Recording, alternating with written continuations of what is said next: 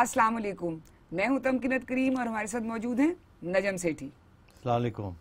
आज जिन टॉपिक्स पे हम गुफ्तगू करेंगे उनमें शामिल हैं lieutenant general retired Asim Saleem Bajwa के ख़ानदान के गैर मुल्की असासे मियाँ नवाज़ शरीफ के जेर समात मुकदमात में पेशरफ्त अपोजिशन का ऑल पार्टीज़ कॉन्फ्रेंस बुलाने का फैसला और कराची की ताज़ा तरीन सूरत हाल। सेठी साहब 27 अगस्त को सीनियर सहाफ़ी अहमद नूरानी की एक रिपोर्ट, तहकीकाती रिपोर्ट, एक वेबसाइट है फैक्ट्स फोकस, उस पर पब्लिश हुई, जिसमें जनरल साहब के जो ख़ानदान है, उनके गैर मुल्की असासों के बारे में कुछ इंकशाफात किए गए। अब जनरल साहब सी पैक के चेयरमैन भी हैं और सी पैक अथॉरिटी के, और साथ ही साथ मुआवन खसूसी हैं वज़ी अजम के बरए अतलात व नशरियात। तो उसमें आप मुझे बताएँ, जब ये स्टोरी सामने आई सबसे पहले तो आपके पहले क्या तासुरात थे? और दूसरा, इसमें क्या ऐसी तहलका खेज बात थी जिसके बाद इतना शोर मच गया? तो मेरे पहले तासुरात तो ये थे कि ये मामला जो है ना, ये मकाफात अमल का मामला वो कैसे? जनरल साहब एक अननोन क्वांटिटी नहीं थे। देखिए, बहुत सारे, बहुत से जनरल्स आते हैं, बहुत से जनरल्स चले जाते हैं। आपको कितने जनरल्स के नाम याद हैं जो सर्विंग जनरल्स हैं? बहुत कम। कोर कमांडर्स के नाम नहीं पता होते हम लोगों को।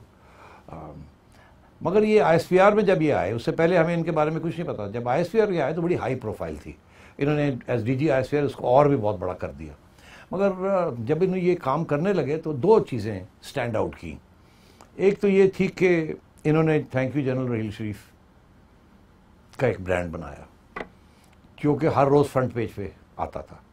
अब एज जर्नलिस्ट हमें इस बात का एहसास था कि ये ऑर्डर्स आते हैं कि फ्रंट पेज पे लगाएँ।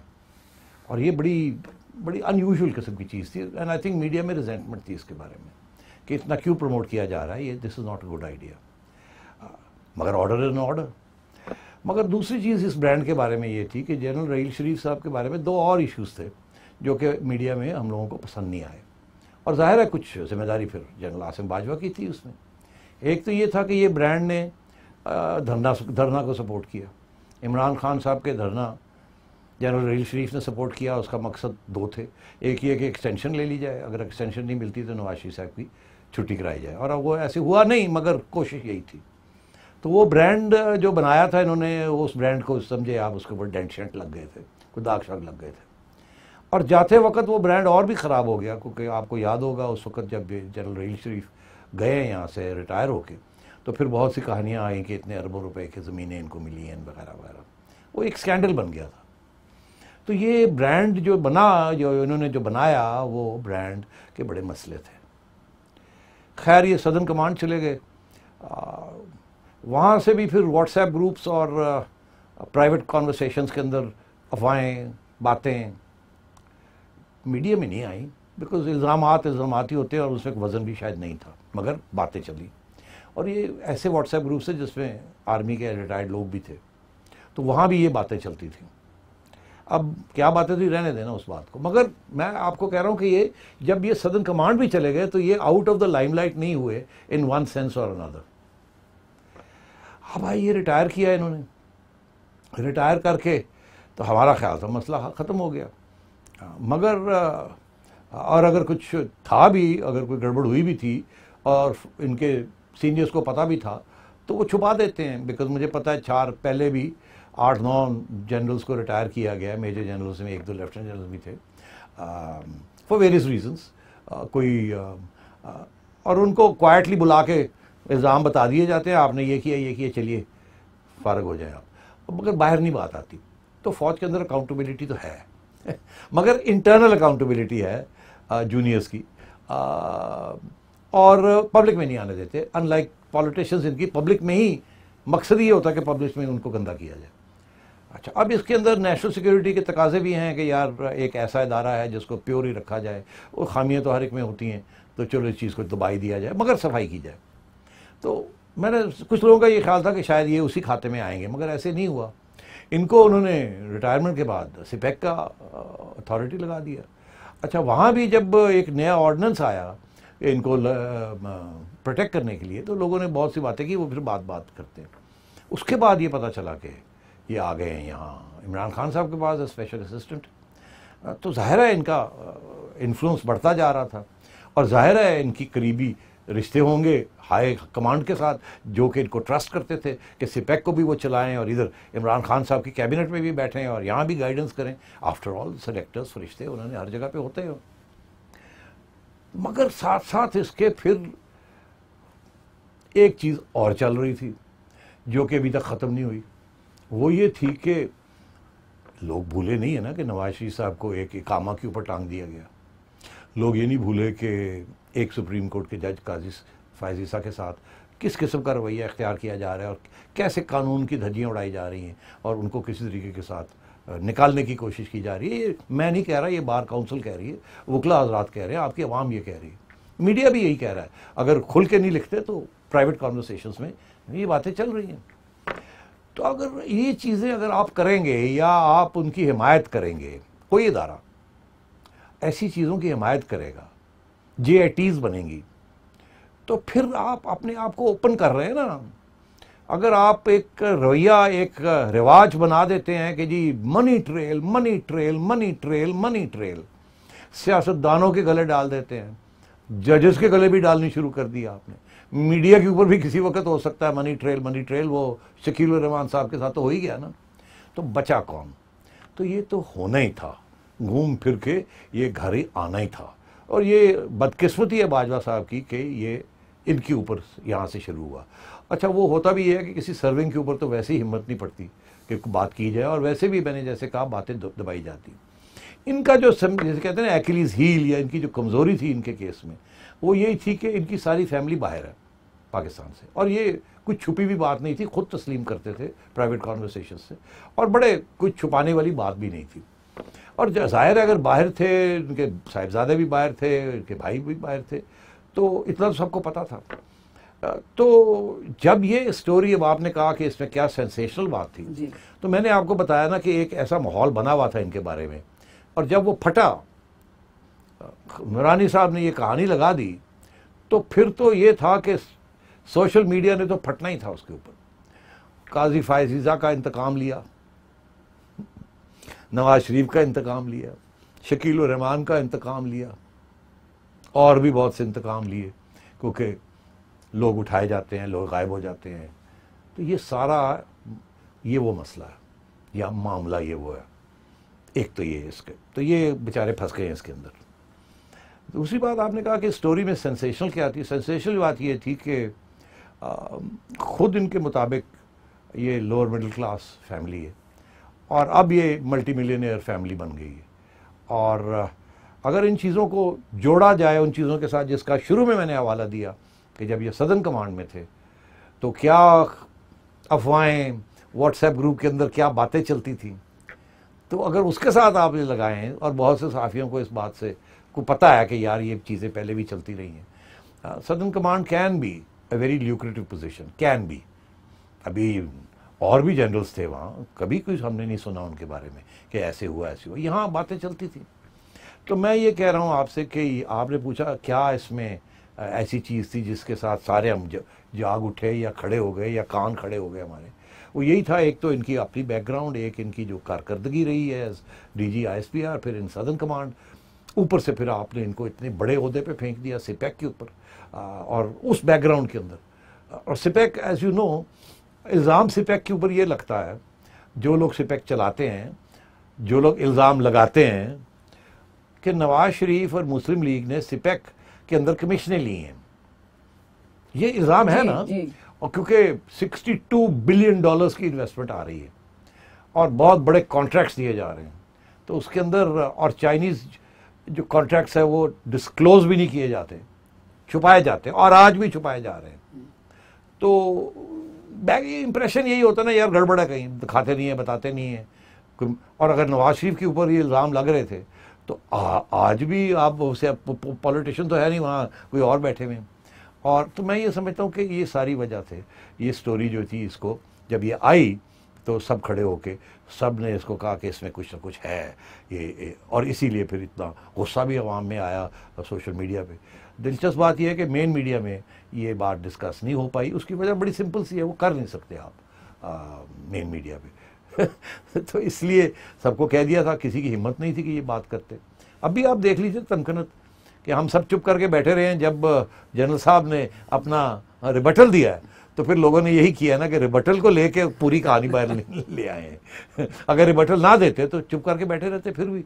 अब उन्होंने रिबटल दिया तो रिबटल जब दिया तो फिर आइए फिर आइए, बात कीजिए, जब बात कीजिए तो फिर सवाल खड़े होंगे। नूरानी साहब ने ये कहा ये कहा, आपने ये कहा, आपने ये कहा। तो दैट्स हैपेंड जी, इसमें एक वो ये भी लोग बात करते हैं कि क्योंकि उन्होंने 22 जून को एक वो जो उनके मुआवने खसूसी के तौर पे जो अपने असासे डिक्लेयर किए थे वो उसमें क्योंकि ये असासे नहीं थे तो इसलिए लोगों ने कहा कि अभी तो उन्होंने डिक्लेयर किए हैं, अभी उसमें ये वो नहीं है जो ये नुरानी की स्टोरी में थे। अब मुझे बताएँ कि जिस दिन ये स्टोरी आई है, उसी दिन बाजवा साहब का एक ट्वीट आया था, जिसमें उन्होंने कहा कि ये जो स्टोरी है, एक नामालूम साइट है वेबसाइट है, और उस पर एक बदनीयती पे मबनी प्रोपगेंडा मेरे खिलाफ किया जा रहा है। उनके बेटे ने भी कुछ इसी किस्म की ट्वीट की। और उसके बाद एक सोशल मीडिया पे हमें दो बयानिए सामने नज़र आए कि एक कह रहे थे कि ये सिपेक, क्योंकि उसके खिलाफ कोई साजिश है, कोई इंडिया की तरफ़ से, कोई इंडिया का भी कोई एक वीडियो था उससे पहले जुलाई के महीने से। उन्होंने कहा कि सारा की सारी साजिश है और हमारी अदारों को बदनाम करने की और सी पैक को टारगेट करने की। दूसरी तरफ़ का बयानिया ये था कि नहीं जी, एहतसाब है तो फिर सबके लिए है और कोई इसमें सब बराबर है। तो आप इन दो बयानियों को कैसे देखते हैं? देखिए, ये कि जी, ये हिंदुस्तान की कोई साजिश है, देखिए, हिंदुस्तान तो साजिश करता ही रहता है। इसमें तो कोई छुपी भी बात नहीं है।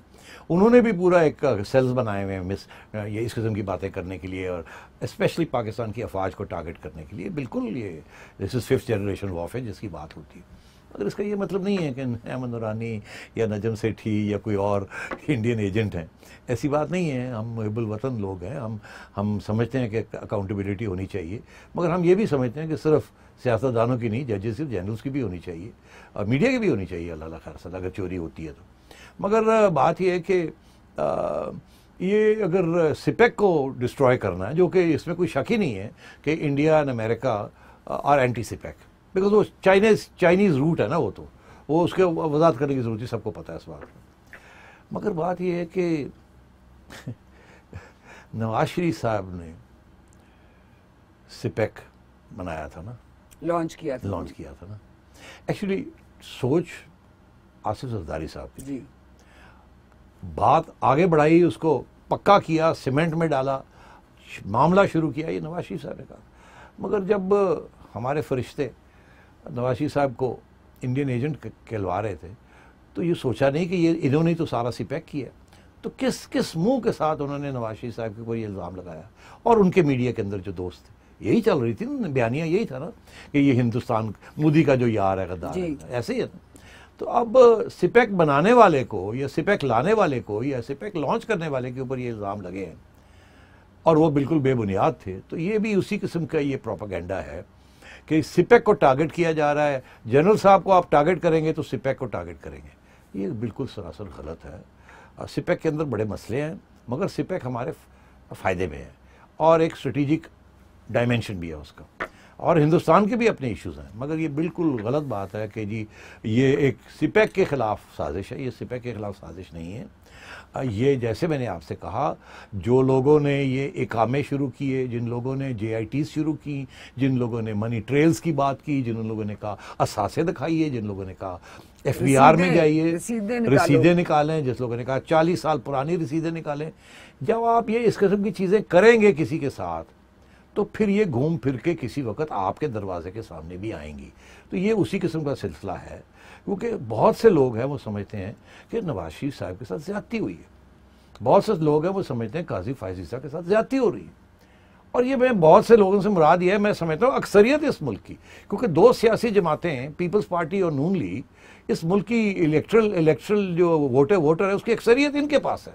वो और बात है हुकूमत किसी और ने बनाई हुई है। मगर अक्सरियत वोटिंग की it double the amount of people are pro People's Party and Noon League then they are PTI तो इसलिए मैं ये समझता हूँ कि ये सोचना चाहिए था इनको। आ, इन्होंने नहीं सोचा और ये अब सूरत हाल यहाँ आ गई। अच्छा जी अब ये स्टोरी के सत्ताईस अगस्त को ये अहमद नूरानी की स्टोरी आई। उसके बाद हम ये सुनते रहे वक्तन फवक्तन के जनरल बाजवा साहब आसिम सलीम बाजवा साहब। ये बहुत जल्द एक प्रेस कॉन्फ्रेंस करेंगे जिसके अंदर वो एक वजाहत पेश करेंगे। लेकिन फिर वो प्रेस कॉन्फ्रेंस तो नहीं हुई। मगर कल उन्होंने एक प्रेस रिलीज़ जारी की है, जिसके अंदर उन्होंने मतलब पॉइंट वाइज उन्होंने कहा है कि ये नूरानी साहब ने इल्ज़ाम लगाए हैं और हकीकत दरअसल ये और इस तरह से उन्होंने सारा ये मुस्तरद कर दी जो नूरानी साहब की स्टोरी को। आपने वो रिबटल भी देखा है जो उनकी तरफ़ से तरदीद आई है। आप क्या समझते हैं कि जो उन्होंने वजाहत पेश की है और जिस तरह से उन्होंने हकाइक अपनी तरफ़ से सामने लेके आए हैं, वो कितने इतमान बख्श है? नहीं बिल्कुल इतमान बख्श नहीं है। बहुत से उसके अंदर होल्स हैं जिसको जब आप गौर से उसको देखें और और बहुत से सवाल बनते हैं। पता नहीं कल क्या हुआ एक प्रोग्राम के अंदर एक सवाल पूछा गया और उस वक्त तीन मिनट के लिए ये लाइन कट गई और वो जवाब नहीं मिला उस सवाल का। आ, मगर आ, सवाल तो बहुत है अभी भी। नहीं मगर बात दिया है उन्होंने जवाब। आ, जब वो वापस आए लाइन पे तो उन्होंने फिर जवाब दिया। हाँ मगर वो तसल्ली वाला जवाब नहीं था। बहुत से सवाल हैं। मतलब मैं अब कहाँ जाऊँ एक एक करके? मेरा ये जॉब नहीं है कि मैं उनको अब ये किसी और का जॉब है। ये फोरेंसिक एनालिसिस है। ये वो लोग हैं जो जे करते हैं। ये वो लोग हैं जो फोरेंसिक एनालिसिस करते हैं। आ, मगर बात ये है कि दाल में तो काला है। मोटी बातें भी अगर आप देख लें वो कहते हैं जी कि मेरी बीवी जो है उन्होंने एक असासे जब डिक्लेयर किए तो कहने लगे कि उस वक़्त इनकी अहलिया के कोई बैरूनी मुल्क में कोई जायदाद नहीं है। और अब जब जायदाद निकली है ढेर सारी तो कहते हैं एक तो ढेर सारी नहीं है वो थोड़ी सी है। दूसरा कहते हैं कि वो भी उन्होंने तोहफे के तौर पे बेटों को दे दिए। हाँ, कि पहली जून को उसमें से और पहले बीस दिन पहले ही उन्होंने ये सब कुछ कर लिया था इसलिए मैंने वो लिखा नहीं। जी। अब ये भी इसकी भी तो एविडेंस नहीं मिली ना तो कह रहे हैं ना ऐसी बात। दूसरी बात ये है कि खुद कहते हैं कि जी कारोबार जो ग्लोबल कंपनी का है वो सत्तर मिलियन डॉलर के करीब है। और कहते हैं जी कि इनकी जो छोटी सी इन्वेस्टमेंट थी सत, बीस एक हज़ार डॉलर की। अगर वो बीस हज़ार डॉलर की इन्वेस्टमेंट थी तो वो सत्तर मिलियन डॉलर जब बने हैं तो जब ये इन्वेस्टमेंट हुई थी तो ये बीस परसेंट थी टोटल इन्वेस्टमेंट की। कहते हैं अस्सी हज़ार डॉलर की टोटल इन्वेस्टमेंट थी कंपनी के अंदर। उसके अंदर कोई बीस हज़ार इनकी आइलिया की थी। तो चलो समझिए, बीस पच्चीस परसेंट इनका शेयर था। अब सत्तर मिलियन का बीस पच्चीस परसेंट शेयर तो ढेर सारा बनता है ना। वो कहाँ गया? वो इनको मिला नहीं या उन्होंने किसी जगह पे आगे दे दिया अगर आगे दे दिया तो उसकी भी एविडेंस होगी प्रूफ होगा या income US income tax returns में होगा या उन्होंने कहीं पैसे पाक किए होंगे या किसी अकाउंट में चले गए होंगे या गिफ्ट कर दिया होगा जो कहते हैं मैंने गिफ्ट कर दिया तो उसके सारा रिकॉर्ड होगा ना। तो बात यह है कि जब तक ये सारी मनी ट्रेल आएगी नहीं उस वक्त तक ये बात बंद नहीं होनी ये चलेगी। और बहुत से इस किस्म के और भी बड़े इश्यूज़ हैं जो कि मैं हमारे ग्रुप्स हैं उसके अंदर ये डिस्कशंस चल रही हैं और बड़े सिंपथेटिक लोग भी हैं इन ग्रुप्स के अंदर जो कि उनको डिफेंड भी करना चाहते हैं। मगर जो उनको डिफेंड भी करना चाहते हैं वो खुद कह रहे हैं कि यार कमाल की बात है कि अगर सारा पाकिस्तानी अगर ऐसे ही हो कि सत्तर हज़ार डॉलर से सात सेवेंटी मिलियन डॉलर्स बन जाएँ दस साल के अंदर तो और क्या चाहिए आपको? आ, तो मैं ये समझता हूँ कि बातें तो अभी बहुत सी हैं। आहिस्ता आहिस्ता निकलेंगी। ये अहमद नुरानी भी चुप नहीं करेंगे और आप देखिएगा और लोग भी कूद जाएँगे। बहुत सी कंपनीज़ के डिटेल्स आएँगे बिकॉज़ ये चीज़ें छुपी नहीं रहती। कोई ना कोई निकाल देगा। शायद दुश्मन ही आपका निकाल दें। मगर इस अगर दुश्मन भी निकालते हैं तो इसका ये मतलब नहीं ये गलत है। अगर कोई डॉक्यूमेंट्स आ जाते हैं तो फिर कैसे डिफेंड करेंगे? तो मैं ये समझता हूँ ये बात अभी ख़त्म नहीं हुई। अच्छा अभी आप कह रहे हैं कि आपको जो इनकी तरदीद आई है उस वो इतनी इतमान बख्श नहीं लगी? नहीं। तो कल इन्होंने आजिम बाजवा साहब ने ये ऐलान किया कि बतौर मशीर खसूसी, मुआवन खसूसी वज़ीर अजम के, वो इस्तीफ़ा दे रहे हैं इस अहदे से। आज हमने ये खबर सुनी कि जब वो वज़ीर अजम को इस्तीफ़ा देने गए हैं तो वज़ीर अजम ने इस्तीफ़ा लेने से इनकार कर दिया है और उन्होंने कहा है कि जो आपने वजाहत पेश की है, वो इतमान बख्श है, मैं मुतमिन हूँ तो आप अपना काम इसी तरह जारी रखें। तो बताएँ, ये कल इस्तीफे की बात हुई, आज इस्तीफा वापस हुआ, ये हो क्या रहा है? मैं आपको चिड़िया की खबर दे देता हूँ, क्योंकि ज़ाहिर है आप फ़िश कर रही है ना कि अंदर की बात क्या है? अंदर की बात यह है कि फरिश्तों ने पहले फैसला किया कि हाँ ये इसको संभालना मुश्किल हो जाएगा, और बाजवा साहब को कहा जाए कि आप रिज़ाइन कर दें। S S C S A P M से कैबिनेट से रिज़ाइन कर दें, क्योंकि जब आप सिपैक में रहेंगे, वहाँ कौन, कुछ नहीं होना। यहाँ प्रॉब्लम रहते हैं सारे। पॉलिटिक्स है ना that is out of politics focus नहीं है वहाँ। यही तो उनको डिक्लेयर भी करने पड़े अपने इसीलिए करना पड़ा ना तो वहीं से प्रॉब्लम शुरू हो गई। तो बेहतर ये यहाँ से तो निकलो। ये फैसला हो चुका था। कि आप ये छोड़ें। और प्राइम मिनिस्टर साहब ने कहा ठीक है। वो भी कह सकते हैं कि मैंने अकाउंटेबिलिटी करा दी है। मगर पूरी अकाउंटेबिलिटी नहीं क्योंकि फिर किसी पैक से भी निकालना पड़ता। तो बेहतर यह है कि आप खुद ही कर दें। तो चलो जी उन्होंने। और कहा क्या उन्होंने कि जी मैं कल करूँगा। जी। अब ये इंटरव्यू जो हो रही थी, ये दस ग्यारह बजे रात को हो रही थी। मेरी इतला के मुताबिक, मेरी इतला के मुताबिक उससे पहले फैसला हो चुका था कि ये रिज़ाइन करेंगे और ये अगले दिन जाके इन्होंने करना था। मगर मेरी इतला के मुताबिक उस रात को इनकी अनाउंसमेंट से पहले और शायद इनको पता भी नहीं था, मेरा ये कुछ लोग सीनियर लोग प्राइम मिनिस्टर साहब को जाके मिले, कुछ फरिश्ते मिले और वहाँ क्या बात हुई? वो बात तो मुझे पता नहीं है मगर उसका जो रिज़ल्ट निकला है उस बात का वो यही है कि आज प्राइम मिनिस्टर साहब ने इनकी रेजिग्नेशन रिजेक्ट कर दी और कहा नहीं आप रहें यहाँ. तो अब क्या हुआ कि पहले फरिश्तों ने कहा जी आप जाइए इधर से तो रिज़ाइन करें वहाँ रहें। मगर अब ये कहा कि नहीं यहाँ से भी रिज़ाइन नहीं करना। और प्राइम मिनिस्टर को कहा मत लें इनकी क्योंकि अनाउंस तो कर दिया कि मैं करने जा रहा हूँ। अब यही है कि प्राइम मिनिस्टर के मैंने नहीं लेना। तो पीएम को कहने गए थे कि नहीं लेनी। हालाँकि पहले ये फैसला हो चुका था कि ले लें। अच्छा। तो क्या हुआ? मेरा ख्याल है कि सोशल मीडिया को मॉनिटरिंग जो हो रही थी सोशल मीडिया के अंदर दो बातें निकली ना। एक तो ये कि जैसे आपने मुझे पूछा कि क्या मैं मुतमिन हूँ कि इन्होंने जो जवाब दिया मैंने कहा नहीं बहुत से सवाल अभी भी रहते हैं। सोशल मीडिया पे अंदर तो इससे ज़्यादा प्रॉब्लम्स है वहाँ तो। वो तो बिल्कुल यकीन नहीं करते और हर किस्म की छोटी छोटी नुकते निकाल रहे हैं वहाँ। मगर सोशल मीडिया के अंदर एक और बात भी हुई ना और सीनियर एंकर्स ने ये बात की कि ये कह रहे हैं कि इन्होंने एस एस सी रिज़ाइन करना है। तो क्यों? अगर आपने कोई गलत काम नहीं किया तो रिज़ाइन क्यों करना है? आपने तो रिबर्टल दे दिया अब इसके बाद रिज़ाइन करने की क्या इसका मतलब दाल में काला है। एक तो ये आ, सोच आई और ये सोशल मीडिया पे आ गई। दूसरी सोच ये थी कि अगर आपने फिर यहाँ से रिज़ाइन करना तो सिपेक से भी करें। ये कैसे है कि यहाँ पाक नहीं और वहाँ पाक है तो फिर आप अगर यहाँ रिज़ाइन करें तो वहाँ से भी करें। तो ये दोनों चीज़ें चलनी शुरू हो गई और प्रेशर बिल्डअप होना शुरू हो गया। अब मेरा ख्याल है कि उसके बाद फरिश्तों ने सोचा, यार, ये तो गड़बड़ हो गई। हमारा ख्याल था ये मामला ख़त्म हो जाएगा यहाँ और सिपे को हम प्रोटेक्ट कर लेंगे अपना बंदा चाहिए वहाँ। मगर ये तो उल्टा हो रहा है, ये तो ये resignation is going to not leading to demands के, वो भी, वहाँ से भी फारग हो आप। और अगर आप इनोसेंट होते यहाँ भी ना हो। उन्होंने कहा फिर यही फैसला करो कि रहने दो। आज नहीं, आप इसको रिवर्स करें। बिकॉज़ ये डिमांड जो है कि जी अगर आप यहाँ रिज़ाइन करें तो वहाँ भी करें। यहाँ अगर दाल में काला तो वहाँ भी दाल में काला और अगर यहाँ दाल में काला नहीं है तो फिर यहाँ से क्यों जा रहे हैं? तो ये फिर प्राइम मिनिस्टर साहब को ये कहा गया कि नहीं आपने नहीं एक्सेप्ट करना हम डट जाते हैं और हम ये इसको चलाएँगे इस बात को। हम नहीं ये दाग आने देंगे आ, अपने ऊपर भी और ना इनके ऊपर बिकॉज़ ये फिर आ, आगे जाके और मसला बन जाएगा। इसलिए बैक ट्रैकिंग हुई है। दिस इज़ माई असेसमेंट इसके अंदर ये मुझे पता है कि कल शाम को और भी मुलाकातें हुई हैं। कुछ लोग गए और ये उस वक्त ये अबाउट टर्न या यू टर्न हुआ है ऑन दिस इशू और मेरा ख्याल है ये बाजा साहब को भी बाद में इतला की गई कि भाई ये है, अब नया नया इशू ये इस तरीके से चल रहा है। उस वक्त तो ये बिज़ी थे ना इधर उधर जा रहे थे कभी ये कह रहे थे, कभी वो कह रहे थे। और ये कन्फर्म भी नहीं था कि शायद ये बात हो सकता है, आज फिर इसके ऊपर डिस्कशन हुई हो सुबह। उस वक्त शायद ये बात हुई हो, लोगों ने कहा सोचते हैं इसके ऊपर, कल देखते हैं क्या होता है, और आज जाके फिर फैसला हुआ कि नहीं, इनको नहीं एक्सेप्ट करना। तो I think that's what's happened तो ये अब स्टोरी भी आ गई, उसकी वजाहत भी आ गई, इस्तीफा भी कबूल नहीं हुआ। तो क्या मुझे बताएँ, ये मामला यहाँ ख़त्म हो जाएगा? क्योंकि जब ये स्टोरी आई थी, तब भी इलेक्ट्रॉनिक मीडिया और प्रिंट मीडिया ने इसको कवर नहीं किया था, सिर्फ़ सोशल मीडिया पे चल रहा था।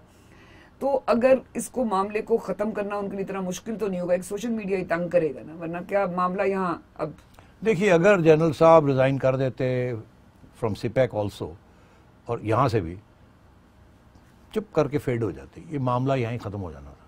किसी और के ऊपर दाग नहीं आना था, इमरान खान साहब के भी नंबर लग जाने थे, फरिश्तों के भी नंबर लग जाने थे कि हमने अकाउंटेबिलिटी कर दी है। और ये स्टोरी फिर ख़त्म हो जाती है डेड हो जाती है। डेड इशू हो गई जी रेजिग्नेशन हो गया, ख़त्म हो गई बात। मगर क्योंकि अब वो नहीं हुआ तो ये चलेगी अब। अब जिन लोगों ने ये स्टोरी निकाली है, अहमद नुरानी है, और लोग भी होंगे इसमें, जिन जो लोग इंक्वायरियाँ कर रहे हैं, वो तो अब जैसे कहते हैं ना शार्पन देयर नाइव्स वो तो अब और भी चीज़ें निकालेंगे। जो इन्होंने रिबटल दिया है अब रिबटल के रिबटल चलेंगे। उन्होंने कह दिया हाँ हाँ रिबटल के रिबटल चलेंगे और डॉक्यूमेंट्स आने शुरू हो जाएँगे। आ, हम्म। तो ये रुकेगा नहीं मामला। और ये भी मैं आपको कह दूँ कि क्योंकि ये मामले में फैसला ये हुआ है कि इसको अब हमने लिड डाल के बंद करना है तो रेजिस्टेंस इसके ऊपर आएगी। और और लोग भी उनके ऊपर भी अब आनी बातें शुरू हो जाएँगी। और मैं क्योंकि देखिए ना लोग कंपैरिजन करते हैं ना मैंने कहा आपसे मकाफात अमल। मैं अब कह रहा हूँ कि अब क्या होगा? अब जनरल कियानी की जो प्रॉपर्टीज़ हैं ऑस्ट्रेलिया के अंदर या कहीं और हैं लोग उसके पीछे जाएँगे। शुरू हो गया सर। और फिर जनरल मुशर्रफ की जो पहले चीज़ें थी वो फिर से दोहराई जाएँगी और वो नई चीज़ें निकाली जाएँगी। और फिर मैं समझता हूँ शायद जनरल हिल शरीफ के बारे में भी कोई इधर से निकलेगी बात कोई उधर से निकलेगी बात। ये अब रुकेगी नहीं बात। इसको रोकने का एक ही तरीका था खत्म।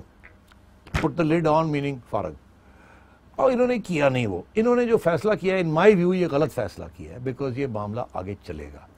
और जब चलेगा तो और लोग भी इसके घेरे में आएँगे। और अनफॉर्चुनेट अनफॉर्चुनेट रिटायर्ड जनरल्स आएँगे, और रिटायर्ड आर्मी चीफ्स आएँगे। ये हम, मुल्क के लिए अच्छी बात नहीं है। ये हमारी फौज के लिए अच्छी बात नहीं है। उसकी लीडरशिप के लिए अच्छी बात नहीं है। ऑलरेडी क्योंकि इस हुकूमत की, सियासी हुकूमत की कारकर्दगी इतनी बुरी है तो मैं ये समझता हूँ कि ये it's not going to look good और ये और कॉन्ट्रोवर्शियल बनेगी। देखिए ना ऑलरेडी तमकनत सिचुएशन ये है कि क्रिटिसिज्म तो शुरू हो गई है ना। बुजदार साहब के ऊपर, खान साहब के ऊपर खुद, कारकर्दगी के ऊपर। तो ये चीज़ें तो चल रही हैं। और दिन रात खान साहब ये कहते हैं, जी, मैं तो यहाँ हूँ बिकॉज़ मेरे सेलेक्टर्स ने मुझे लेके आए. और हो गया, नाम इमरान खान का गंदा नहीं हो रहा, वो सियासतदान है। नाम कहीं और गंदे हो रहे हैं। और इदारे जो हैं, वो कंट्रोवर्शियल बनते जा रहे हैं बिकॉज़ वो इतने वन साइडेड हो गए। जैसे नैब का आपने देख लिया, कितना बदनाम हो गया नैब। हो गया ना? और चेयरमैन साहब भी नैब के जो है, उनके ऊपर भी बड़ा प्रेशर है और लोगों को, उनको एहसास है इस बात का भी। और यहाँ भी इस किस्म की बात चल पड़ी है। अब देखिए, दो बातें होती हैं। एक तो ये कि जब तनकीद होती है तो वो बाहर आ जाती है। एक ही होती है, तनकीद अंदर ही रहती है, या अंदर बाहर निकलने नहीं दिया जाता। अब बात है, तनकीद तो तनकीद है ना, एहसास तो एहसास है ना, वो आज नहीं, कल कल नहीं, परसों बाहर निकलेगा, फटेगा वो। तो ये सोचना कि जी, हमने रोक दिया है, हमने लिड डाल दी है, हमने मुँह बंद कर दिए इन सब के, गायब कर देते हैं लोगों को, धमकी देते हैं। कब तक आप ये करेंगे? और ये कब तक छुपेगा ये बात? दिलों में तो रह जाती है ना पब्लिक के अंदर कि यहाँ ये हो रहा है, यहाँ ये हो रहा है, यहाँ। और मैं ये समझता हूँ कि हमारे इदारों के अंदर भी अब ये एहसास होना शुरू हो गया कि यार, हम क्यों गंदे हो रहे हैं? हमारी तो नीयत इतनी अच्छी थी। हम तो मुल्क के लिए अच्छी काम करना चाह रहे हैं। हम मुहिबुल वतन लोग हैं। हम करप्ट नहीं हैं। हम ऑनेस्ट हैं। हम प्रोफेशनल्स हैं। वे पेट्रियट्स और हो ये रहा कि हम बदलाव होने शुरू हो गए। हमारा अदारा जो है वो कंट्रोवर्शियल होना शुरू हो गया। और क्यों? क्योंकि एक किस्म की सियासत हो रही है इस मुल्क में। और वो सियासत ऐसी हो रही है जो कॉन्ट्रोवर्शियल है। इंजीनियरिंग हो रही है, वो कॉन्ट्रोवर्शियल है। तो ये हमें अपने रियासत के इदारों को बचाना चाहिए, उनको न्यूट्रल रखना चाहिए, वो ख़राब नहीं होने चाहिए, उनको सियासी, देखिए वो कहते हैं कि जब आप मज़हब को और सियासत को जोड़ते हैं, मज़हब तो प्योर चीज़ है, सियासत प्योर नहीं है, वहाँ गंद भी है तो मज़हब ख़राब होता है, उसके ऊपर दाग लग जाते हैं। सियासत का कुछ नहीं होता। इसलिए मज़हब को और सियासत को अलग रखना चाहिए। प्योर चीज़ को इम्प्योर के साथ मिलाना नहीं चाहिए। अब हमारे रियासत के कुछ इदारे हैं, जैसे हमारी अफवाज है। प्योर अदारा है। जब वो इस किस्म की सियासत के साथ मुलवस हो जाते हैं या मिल जाते हैं या उसको प्रॉप अप करते हैं तो वो ख़राब खुद हो जाते हैं। जो पहले ख़राब है, उनको कोई फ़र्क नहीं पड़ता। वो तो फिर ड्राई क्लीन होकर फिर आ जाते हैं, फिर ड्राई क्लीन होकर आ जाते हैं। आप तो चले जाते हैं। कियानी साहब चले गए मुशरफ साहब चले गए, जनरल आज चले गए। ऐसे ही है ना? जी। कोई भूला उनको? नहीं अभी तक बातें चलती हैं उनकी। पूरी पूरी किताबें लिखी जा, जा, जा रही हैं। और कोई उनके ये ढूंढ रहा है उधर कोई ये ढूंढ रहा है उधर। अब जनरल जिया के बारे में आप हर बात कह सकते हैं मगर उनके ऊपर कभी करप्शन की उस किस्म के चार्जेस नहीं लगे थे। कभी नहीं।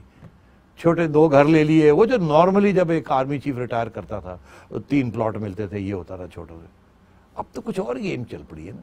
और जब आप शकील रहमान के ऊपर पूछते हैं कि जी, चालीस साल पहले, पैंतीस साल पहले आपने ये ज़मीन ली थी, या नवाज़ शरीफ साहब ने ये ज़मीन दी थी? उसकी मनी ट्रेल लेके आए, उसके डॉक्यूमेंट्स लेके आए।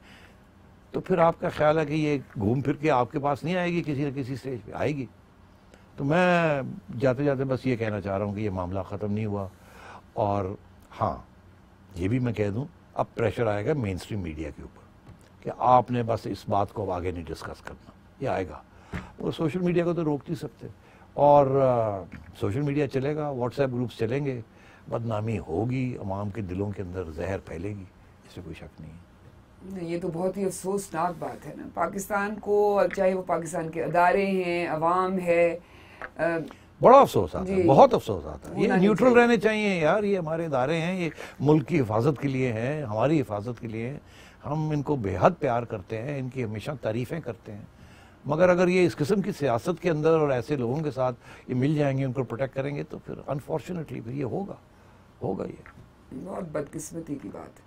हमारी तो अपने मुल्क के लिए दुआ ही है कि अल्लाह इसको हर हालत में महफूज रखे, हर किस्म की बुरी नज़र से। अच्छा अभी आपने मीर शकीर रहमान साहब के केस का ज़िक्र किया है। तो उसी के साथ मैं अभी अगला सवाल करती हूँ।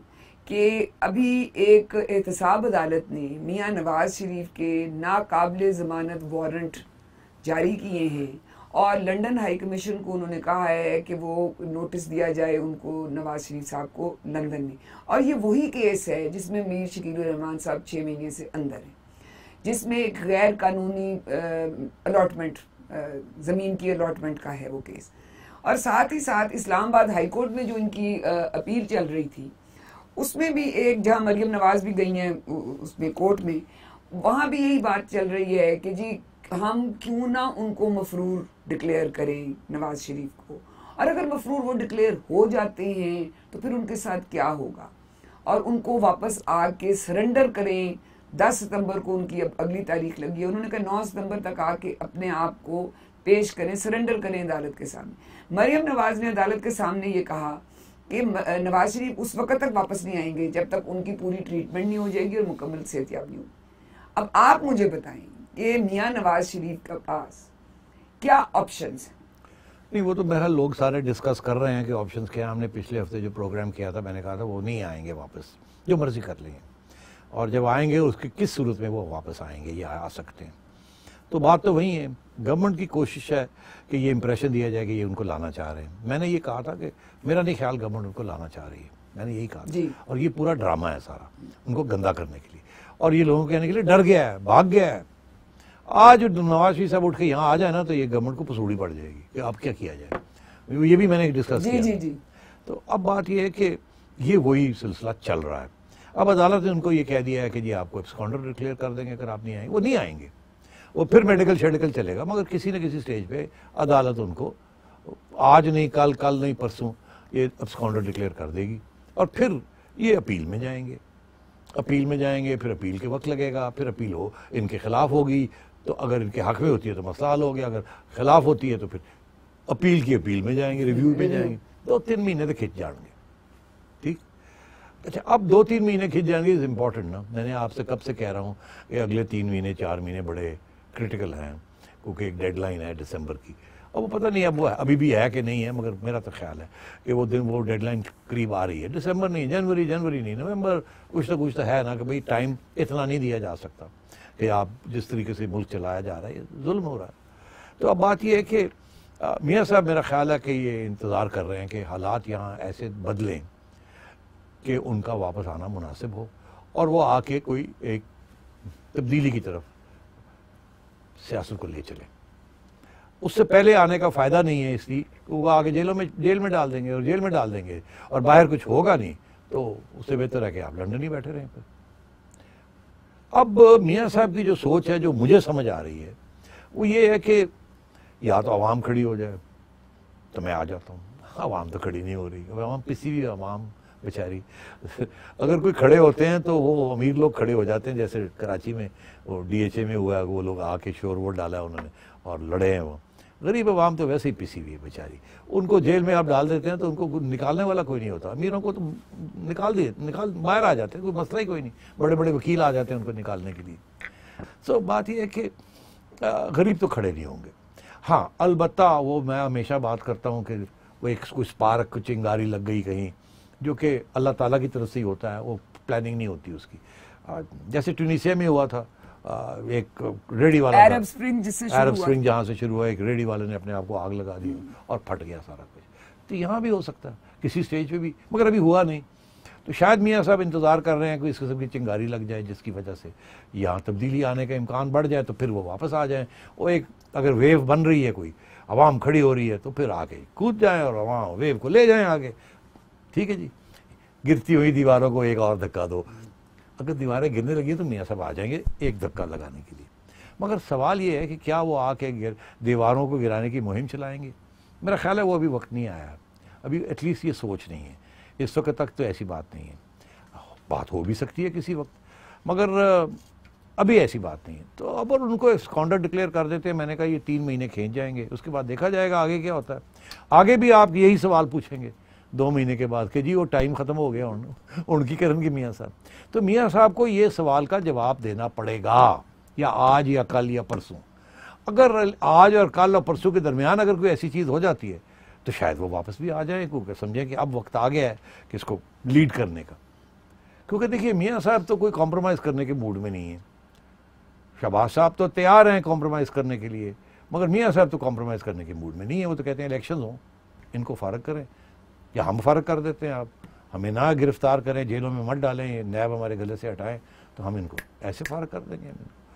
तो अब बात यह है कि ये आके कोई मुहिम चलाने की कोशिश करते हैं। वो तीस लोगों को जेलों में डाल देंगे। कैसे? वो ज़रूरत ही नहीं है। एक आज केस बनाया एफ़ आई आर बनाई, पकड़ के ले गए। फिर आप दो महीने के लिए तो आपको कोई अकाउंटेबिलिटी कोर्ट या जज जो है आपको मिलने के लिए तैयार नहीं होगा। जिस किस्म के ये वीडियोस और ये चीज़ें चलती रहती वैसे सुनने में आ रहा है कि बड़ी गिरफ्तारियाँ होने जा रही हैं वो इसीलिए हाँ तो वो इसीलिए नहीं कुछ नहीं होगा। अगर अपोजिशन सीरियस है कोई मुहिम चलाने में तो गिरफ्तारियाँ हो जाएँगी। अगर सीरियस नहीं है तो कुछ नहीं होगा। अब ये जो बातें चल रही हैं तो मेरा ख्याल है कि मियाँ साहब ज़ाती तौर पर तो अभी दो तीन महीने बैठेंगे कोई फैसला नहीं करेंगे। देखेंगे क्या हो रहा है क्या नहीं हो रहा। और आ, आपको पता ही है कि और अब एक्सकॉन्डर डिक्लेयर भी हो जाते हैं तो फिर अपील में चले जाएँगे। वो स्टे मिल जाएगी फॉर द टाइम बीइंग कि जी ये चीज़ें ये वकील हैंडल कर लेंगे इसको। और मैं आखिरी बात आपको ये कह दूँ कि मियाँ साहब को फ़िक्र नहीं है कि आप उनको आपने कन्विक्ट बना दिया है आपने उनको डेथ सेल में डाल दिया है। तो एब्सकॉन्डर तो कुछ भी चीज़ नहीं है। वो तो एम एब्सकॉन्डर हु केयर्स दस साल वो जिला वतन थे। जी। सुप्रीम कोर्ट ने वो आउट कर दिया था कन्वेक्ट कर दिया था हाई जैकिंग किया आपने। तो हुआ ना। तो पीने का वक्त भी खत्म हो गया था। दस साल के बाद आए दस साल के बाद आए जब हवा चल रही थी हम्म। तो जज हजरात भी तैयार हो गए रिव्यू देखने के लिए। कोई कानून में ऐसी हैसियत नहीं है गुंजाइश कि जी दस साल के बाद अब एक रिव्यू अपील फ़ाइल हो जाए और वो एक्सेप्ट हो जाए। और फिर सुनने के लिए एक्सेप्ट हो जाए और उसके बाद जजमेंट भी आपके हक में आ जाए। हम्म। कोई ऐसी चीज़। मगर इस मुल्क में हर चीज़ होती है। देखिए ना वो कहते हैं आइन क्या है? आइन वो है जो सुप्रीम कोर्ट कहता है। हम्म। सुप्रीम कोर्ट क्या है? जो चीफ जस्टिस कहता है। तो अब ये बात ये है कि आपने देखा कैसे यहाँ के चीफ जस्टिस खोसा साहब को भी आपने देख लिया हम बड़ी इज़्ज़त करते थे मगर जिस दिन उन्होंने ये ओकामा और ये डेफिनेशन ऑफ़ एसेट और इनकम किया तो हम सोचों में पड़ गए यार ये ये तो इंतकाम है ये कानून तो नहीं है। और जो साकिब निसार साहब करते रह गए वो भी हम परेशान हो गए कि यार ये क्या हो रहा है? ये तो ज़ातियात पे उतर आए हैं लोग, यहाँ कोई इंसाफ का तकाजा नहीं है, कुछ और ही हो रहा है इस मुल्क में। इस मुल्क में बड़ा कुछ हुआ है। और आगे भी होगा, ये नहीं कि नहीं होगा, मगर जैसे ये चीज़ें ऐसे चलती हैं, जब हवा बदलती है तो ये चीज़ें ऐसे भी हो जाती हैं। तो मियाँ साहब इंतज़ार में है, यार दस साल पहले भी कट्टे ने देख लवांगे। ये सारी चीज़ें चलती हैं। वो कहते हैं, अंग्रेज़ी का मुहावरा है तमकनत द बेस्ट लेड प्लान्स वो फारग हो जाते हैं। तो आप इंसान प्लानिंग करता है। Man God, God disposes. Allah Taala फिर फैसला करता है कि तुम्हारे प्लान जो हैं ऐसे किया हो गया प्लान आप। तो ये क्या होगा आगे? अभी मेरा ख्याल है गेम ऑन है। हम्म।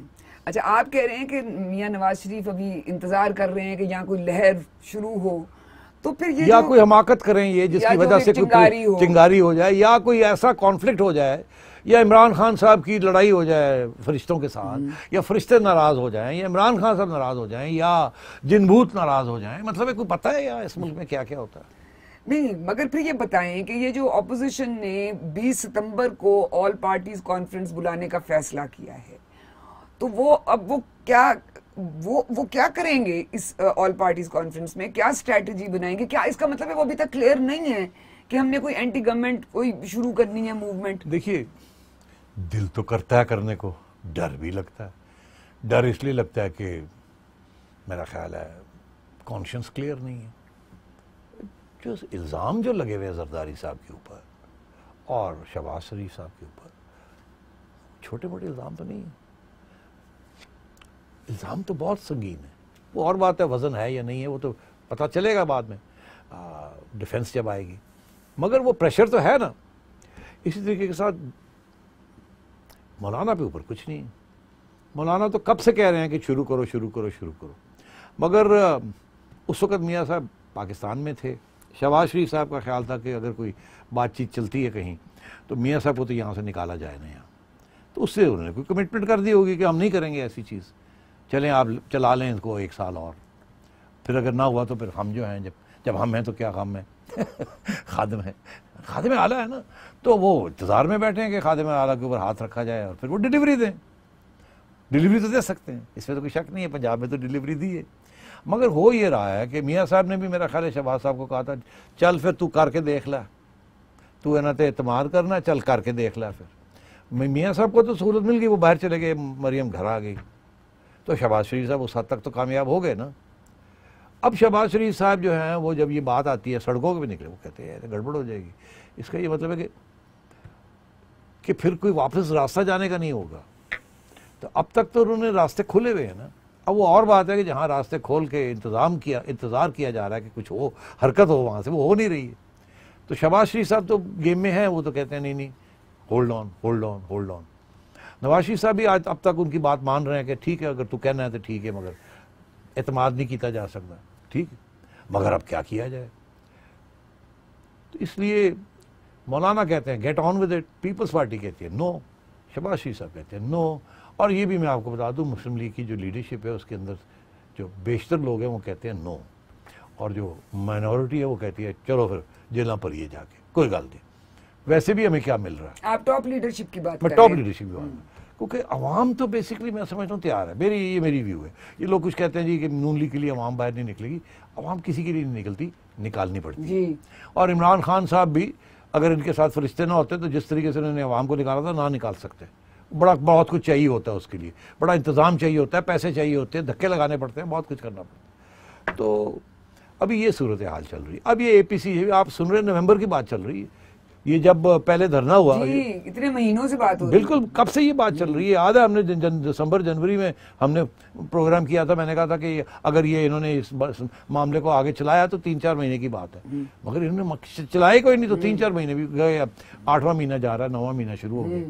अब ये फिर चल रहा है। एक माह पूरा एक साल लेट हो गया ये काम। मौलाना नाराज़ इसीलिए थे ना यार मेरे साथ तो हाथ हो गया। मेरे साथ उन्होंने भी हाथ किया, जिन्होंने कहा था, जाओ जाओ जाओ। और इधर इन्होंने, जिन्होंने साथ देना था, उन्होंने भी हाथ दे दिए। और मौलाना नाराज़ थे, इसीलिए फिर नवाशी साहब ने सोचा कि यार, आगे मौलाना के बगैर तो काम नहीं चलेगा। मौलाना को तो ज़रा थोड़ा संभाला जाए।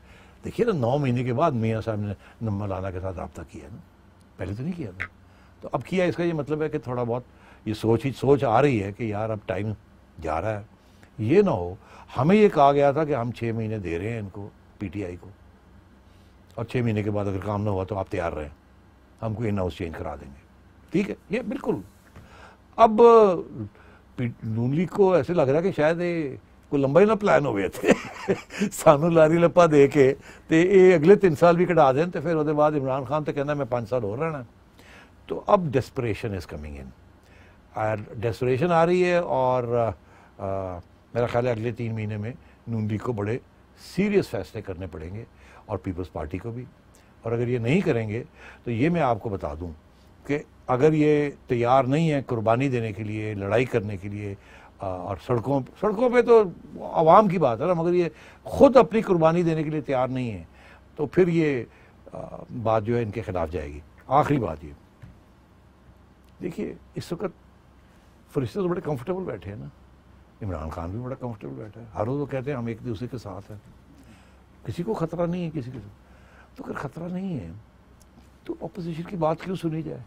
बात तो उस वक्त सुनते हैं ना, जबकि दूसरा आँखें निकालता है, धमकियाँ देता है डिस्टेबलाइज करता है, फिर आप सुनते हैं, यार गल सुन लो। तो अगर कोई ऐसी सिचुएशन ही नहीं है तो आपकी बात क्यों क्यों सुने? चल रहा है, चलने दो। लारी लप्पा दही जाओ, लारी लप्पा दही जाओ। तो ये जो स्टेटस को चल रहा है, ये it is in the favour of the फरिश्ताज and in favour of Imran Khan it is against the opposition अगर स्टेटस को तब्दील करते हैं और वो कहते हैं अंग्रेज़ी के एंटे को अप कर देते हैं कॉन्फ्रेंटेशन को थोड़ा सा बढ़ाए ना कॉन्फ्रेंटेशन अभी तो कॉन्फ्रेंटेशन है ही नहीं, अभी नहीं। ठीक है? तो कॉन्फ्रेंटेशन हो अखा कोई गाजत करो, कोई थोड़ा बहुत ठापा मारो, लोगों बाहर कढो। और लोग तो निकल आते हैं, यार आप निकालने वाले हों तो लोग निकल आते हैं। मगर फिर कुर्बानियाँ देनी पड़ती हैं। तो क्या वो करेंगे? तो ये फैसले मियाँ साहब ने करने हैं। ये आज नहीं, कल करने पड़ेंगे। अगर आप इंतज़ार करेंगे कि अल्लाह मियाँ आपको मौका देगा, ये बिल्कुल हो सकता है तो फिर आप कूदेंगे तो ठीक है, वो भी हो सकता है, मगर अभी तक तो नहीं हुआ। पता नहीं अगले चार साल में या पाँच साल में भी होता कि नहीं होता। तो ये फैसले सियासी तौर पर करने पड़ेंगे। अब देखते हैं जी मियाँ साहब, क्या फैसले करते हैं और अपोजिशन कितनी कुर्बानियाँ देने को तैयार है, इस पर डिपेंड करेगा। मुझे ये बताएँ, जो कराची की ताज़ा तरीन सूरत हाल है। चीफ ऑफ़ आर्मी स्टाफ भी वहाँ जा चुके हैं। उन्होंने वहाँ बड़े, वहाँ ताजर बरदरी और बिजनेसमैन से सबसे मुलाकातें की। फिर उसके बाद शहबाज शरीफ साहब चले गए उधर। अब प्राइम मिनिस्टर ने आज जाना था, मगर वो अब सुना एक दौरा मुलतवी हो गया, कल जा रहे हैं वो। ये अब इतने लोग जा रहे हैं और सुना ये भी है कि अब वफाक और सिंध की सूबाई हुकूमत जो सी है, वो अब उन्होंने ये फैसला किया है कि जी मिल के साथ चलेंगे। आपका ख्याल है जो कराची का क्राइसिस था, ये एक बनेगा रास्ता कि जब कराची जहाँ मसले जिनके हल होंगे। कुछ नहीं होगा। अब मुझे बताएँ, आर्मी चीफ कराची जाते हैं बिजनेसमैन को क्या मिल के क्यों मिल रहे हैं आप? या तो आप, उनको मिल रहे हैं, कहने पैसे दो कराची के लिए फंड बनाने लगे। पता नहीं, ऐसी बात है या नहीं है। क्या बिजनेसमैन देने के लिए तैयार हैं? पैसे तो है नहीं ना। ना सिंध गवर्नमेंट के पास है, ना फेडरल गवर्नमेंट के पास है, ना लोकल गवर्नमेंट के पास है। इसीलिए तो लड़ाई झगड़े चल रहे हैं ऑन दी इकोनॉमी इकोनॉमी बैठी हुई है तो पैसे कहाँ से आएँगे? और जो चार पैसे आ रहे हैं, वो हमें अपनी डिफेंस के लिए भी चाहिए, हमें डेट पेमेंट्स के लिए भी चाहिए। इसीलिए एनएफसी के ऊपर लड़ाई झगड़े हो रहे हैं। सौ सौ, दो दो सौ अरब रुपए के ऊपर लड़ाई झगड़े हो रहे हैं। आप सोचिए, इतना बड़ा मुल्क और सौ सौ, दो सौ अरब रुपए के ऊपर लड़ाई झगड़े हो रहे हैं। पैसा ही नहीं है। ऑर्गेनाइजेशन नहीं है कमिटमेंट नहीं है। मैं आपको बताऊँ। और ये मुख्तर बताऊँगा, लंबी बात है, किसी वक्त वो भी करेंगे। अभी बातें हो रही जी लोकल गवर्नमेंट होते हो लोकल गवर्नमेंट हो तो लोकल गवर्नमेंट के पास पैसे हो तो लोकल गवर्नमेंट कराची को सीख कर सकती। कोई कहता है नहीं नहीं नहीं प्रेसिडेंशियल सिस्टम ले आए कराची को एक फेडरल एरिया बना दें तो फिर इसके ऊपर डेवलपमेंट हो जाएगी। कोई कहता है कि नहीं कोई आ, आ, आ, कोई और कोई कॉन्स्टिट्यूशनल अमेंडमेंट कर दें। बात ये ऐसे नहीं होता। इस वक्त अगर आप कराची के जो लीगल स्टेटस है उसको छेड़ेंगे तो एक बहुत बड़ा एथनिक कॉन्फ्लिक्ट शुरू हो जाएगी। बलोचिस्तान के अंदर एथनिक कॉन्फ्लिक्ट है लो लेवल की। फाटा के अंदर फिर शुरू हो गई है। तहरीक तालिबान को दुश्मन आपका सपोर्ट कर रहा है वो फिर शुरू हो गई। आज की खबर थी कि एक अफसर और दो सिपाही जो है वो मारे शहीद हो गए। शहीद हो गए। हम्म। तो ये दिन रात अब हर रोज ये खबर आ रही है और बढ़ रहा है वहाँ ये। बलोचिस्तान के अंदर भी ऐसे ही है सिपेक को हर्ट करने के लिए ये हो रहा है। आपके दुश्मन आपको घेराव में डालना चाहे। ऊपर से आपको पता है सिंधी महाजर कॉन्फ्लिक्ट एक पुरानी चीज़ है ये नई चीज़ नहीं है। और मैं आपको ये बता दूँ कि इंडिया जो है पहले उसका इन्वॉल्वमेंट महाजर के साथ थी अल्ताफ भाई के ज़रिए और पुरानी इन्वॉलमेंट इंडिया की रही है with Sindhi nationalist movement India हर जगह पे आपको पंगा लेगा सपोर्ट करेगा जहाँ सेंटर के खिलाफ पाकिस्तान के अंदर कोई रिजेंटमेंट है या कोई चीज़ है India will always support it इस्तेमाल करेंगे। इस्तेमाल करेंगे। लोगों के अपने ग्रीवेंसेस ना मगर इंडिया पैसे देता है हथियार देता है लोगों को ट्रेनिंग करवा देता है ये कर लोग गुस्से में होते हैं वो कहते हैं ठीक है आपको याद नहीं है। वो एक साहब है उनकी इंटरव्यू मैंने की थी लंदन में हरबिया मरी साहब की। हम्म। तो उन्होंने उन्होंने कहा कि मुझे तो जहाँ से भी पैसे मिलेंगे हथियार मिलेंगे मैं तो लूँगा। मैंने कहा इंडिया से भी ले लेंगे? कहाँ लूँगा? मैंने कहा अमरीका से? कहाँ लूँगा? कहने मेरी दुश्मनी इधर है मेरी उधर तो मतलब लोग ऐसे सोचते हैं। जब उनको आप एक कोने में धकेल देते हैं ना तो लोग वो ऐसे ही सोचते हैं। दे डोंट थिंक कि जी वो ये पेट्रियाटिक बात है या नहीं वो कहते हैं हमारे साथ ये हो रहा है पर जो हमारी हेल्प करता है अगर शैतान भी हेल्प करता है हम उसकी ले लेंगे हेल्प अब बात यह है कि कराची के लीगल स्टेटस को चेंज करना इज़ अ प्रॉब्लम ये नहीं. ये इसके साथ एथनिक कॉन्फ्लिक्ट शुरू हो जाएगी वहाँ. और ऊपर से Peoples Party will be very upset और पीपल्स uh, पार्टी के बहुत से लोग रेडिकल हो जाएँगे. दूसरी बात ये है कि लोकल गवर्नमेंट किसको देंगे आप? पीपल्स पार्टी लोकल गवर्नमेंट असली लोकल गवर्नमेंट नहीं होने देगी. ना पीपल्स पार्टी करेगी जिसको वोट नहीं पड़ता कराची में, ना नून लीग करेगी जिसको वोट नहीं पड़ता, फेडरल गवर्नमेंट बना लेते हैं, मगर ये नहीं। अब आई पीटीआई की बारी। पीटीआई ने ठीक ठाक वोट लिया है इस दफ़ा, क्योंकि लोग तंग आ गए थे एमक्यूएम से, और लोग तंग आ गए थे रिलीजियस पार्टी से, और नून लीग को उन्होंने वैसे नहीं देना, वो एंटी पंजाबी तो आपने दे दिया। इमरान खान को हीरो, ठीक है, पंजाबी है डजेंट मैटर सेमी पंजाबी जो भी आप समझ लें पीटीआई को तो मिल गया, फेडरल गवर्नमेंट भी मिल गई। इसके बावजूद कराची को कुछ नहीं हुआ, जो मैं कह रहा था। क्योंकि इंटीरियर सिंध जो है, उसने पीपल्स पार्टी को वोट दे दिया। तो ये जो सारे इश्यूज़ है ना, ये फाइनेंशियल इश्यूज़ भी हैं इस्टेब्लिशमेंट के भी इश्यूज़ हैं, सियासी जमातों के भी इश्यूज़ हैं। तो इसलिए मैं नहीं समझता कि ये मसला हल होगा। एक ही रास्ता है। ये आर्मी चीफ का आना जाने से कुछ नहीं होगा, बातें ये कमेटियाँ बना रहे हैं, कुछ नहीं होना। बातें बेचारे कराची वाले, ये पानी ख़त्म हो जाएगा। फिर अपनी ज़िंदगी उसी किस्म की बसर शुरू हो जाएगी। फिर बिजली आएगी, बिजली जाएगी। तबाही है मुझे कोई रिलीफ नज़र नहीं आ रही। आगे आइए। और ये बड़ी अहम बात है। तो फिर रास्ता क्या है? रास्ता एक ही है। वो है एक कॉन्स्टिट्यूशनल अमेंडमेंट अगर आप समझते हैं कि कराची का कोई स्पेशल स्टेटस होना चाहिए, जिसके तहत उसको कुछ मिले और डेवलपमेंट हो तो वो क्या होगा वो स्पेशल स्टेटस कैसे मिलेगा? एक तो आईनी अमेंडमेंट कर सकते हैं आप। You don't have to go to the presidential rule आप आईनी अमेंडमेंट करके कराची को स्पेशल स्टेटस दे सकते हैं। एनएफसी अवार्ड के अंदर उनके लिए पैसे इकट्ठे कर सकते हैं। कर सकते हैं। मगर वो कॉन्स्टिट्यूशनल अमेंडमेंट जो है, उसके अंदर इतफाक होना पड़ेगा ना। कंसेंसस के ज़रिए होना पड़ेगा। पीपल्स पार्टी को भी खुशी खुशी मोर डालनी पड़ेगी लगानी पड़ेगी। नून लीग को भी खुशी खुशी मोर मोर लगानी पड़ेगी। मगर आज के हालात में जबकि इस्टेब्लिशमेंट और पीटीआई दोनों की पिटाई कर रही है नून लीग की और पीपल्स पार्टी की, ऐसा कॉन्स्टिट्यूशनल अमेंडमेंट पॉसिबल ही नहीं है। ये तो उस कॉन्स्टिट्यूशनल अमेंडमेंट का हिस्सा हो कि एक नेशनल कंसेंसस हो, जो हमारा सोशल कॉन्ट्रैक्ट है, आवाम का विद द कॉन्स्टिट्यूशन ये अगर उस किस्म की चीज़ हो, जिसके ऊपर सबका इतफाक हो खुशी खुशी हो तो क्यों नहीं? कराची दस साल के अंदर can be the greatest city in the world because अब वो टेररिज्म भी ख़त्म हो गई है और वो जो हमारे उर्दू स्पीकर्स थे, जिस किस्म की उनकी सोच थी, वो भी तब्दील हुई है थोड़ी बहुत। और वो तो समझ गए, आगे है ना कि ये ऐसे नहीं होते काम। मगर ऐसी चीज़ तो नहीं है। तो अगर ये इनका ख्याल है कि ज़बरदस्ती प्रेसिडेंशियल रूल करके, धमकियाँ दे के पीपल्स पार्टी को उतार के गवर्नर रूल लगा के लोकल गवर्नमेंट का नया लॉ ला के दो दिन दी खेड़े फिर फारग हो जाएगा। इसके साथ और प्रॉब्लम्स बन जाएँगे, कम नहीं होंगे। जी, ये तो कराची की भी खुदा करे सूरत हाल बेहतर हो।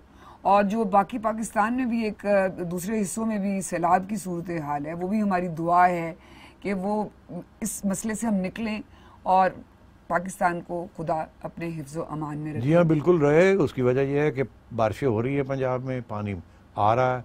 हिंदुस्तान ने चनाब वगैरह में पानी खोल दिया है।